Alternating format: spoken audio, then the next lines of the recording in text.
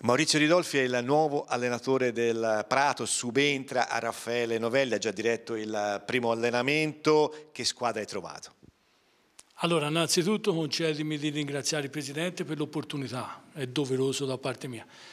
La squadra, dopo un allenamento, giudicare una squadra credo sia impossibile.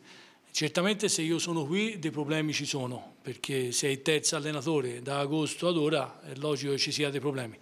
Vediamo ora con gli allenamenti a seguire dove intervenire, secondo me parecchio sulla testa. Eh, poi domenica c'è questa partita importante che ci si preparerà bene per affrontarla in massimo e poi vediamo, dai. Però l'impegno è massimo, i ragazzi ho visto che si allenano bene per, certi, per certe situazioni, certamente c'è da migliorare diverse cose, altrimenti no, non eravamo qua. Tatticamente come sarà il prato di Maurizio Ridolfi? Eh, una bella domanda. Eh, oggi l'infermeria era piena, quindi da qui a domenica vediamo di recuperare qualcuno. Io un'idea in testa ce l'ho di già, ovviamente. Eh, vediamo se la posso mettere in pratica. Ovviamente non, eh, io non sono uno che vede solo un tipo di calcio. Secondo me bisogna bisogna essere duttili, bisogna essere organizzati, quindi vediamo che modulo si sceglie a partire da domenica.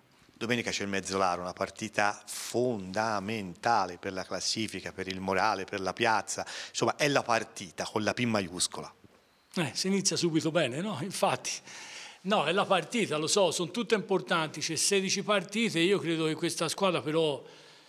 Eh, non ti dico le possa vincere tutte, ma insomma ci, ci, si prova perché secondo me ci sono dei valori importanti che ancora forse non sono stati tirati fuori al massimo.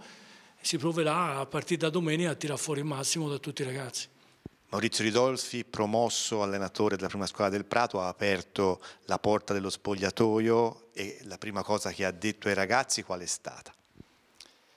Ho detto che se ho accettato vuol dire che credo in questa squadra, perché se no nessuno me l'avrebbe fatto fare, eh, perché sì, per me è una bellissima opportunità, l'ho detto prima ringraziando il Presidente, però anche, ci metto la faccia, anch'io, perché la situazione non è facile, la classifica è quello che è, ci sono dei problemi, però io credo tantissimo in questi ragazzi che si possa riuscire in breve tempo a tirarsi fuori da queste sabbie mobili. Diciamo.